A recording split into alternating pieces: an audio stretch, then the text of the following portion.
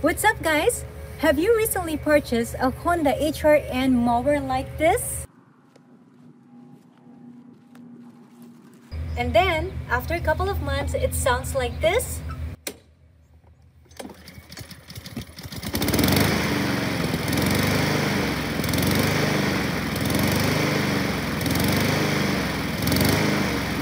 Well, if you answered yes to both of those questions, roll up your sleeves, get a carburetor cleaner, and prepare to get your hands dirty. The problem with this type of mower is that the pilot jet on top of the carburetor gets clogged easily.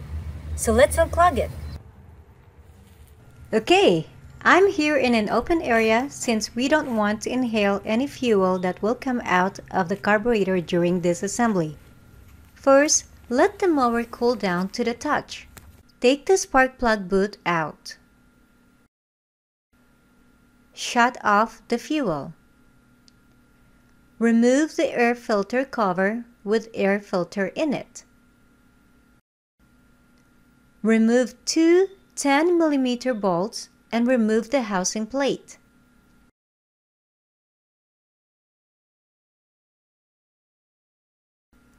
Locate the pilot jet which is on top of the carburetor and take the screw out. Clean the pilot jet with carburetor cleaner by spraying down in hole real good. Make sure the carburetor cleaner is coming out at the back side as shown here. And then finally, assemble everything back in reverse order.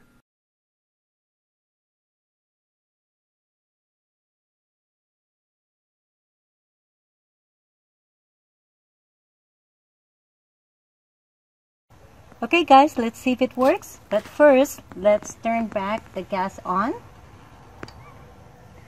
Here it goes.